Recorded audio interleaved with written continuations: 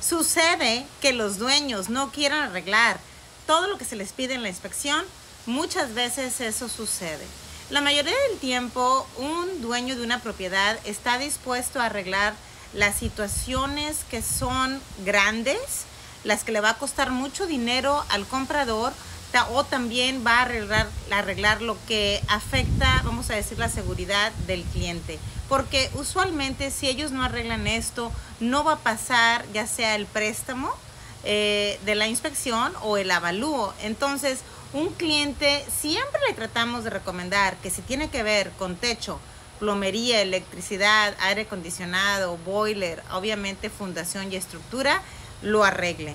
También cuando son situaciones de seguridad, por ejemplo, nos ha tocado casas que tienen rejas en las ventanas y esto no es permitido por causas de un incendio. Entonces, cosas así pueden suceder, pero siempre intentamos llegar a un acuerdo o a una negociación que sea justa tanto para el cliente, el comprador, como para el dueño. Pero nos ha pasado que un dueño diga, no voy a arreglar nada. Sí sucede, claro que sí.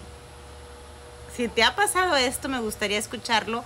¿Qué historias o qué, en qué situaciones has estado? Yo soy Iris Heredia con Momentum Realty y si tienes alguna otra pregunta, házmelo saber. Me encantaría contestarte.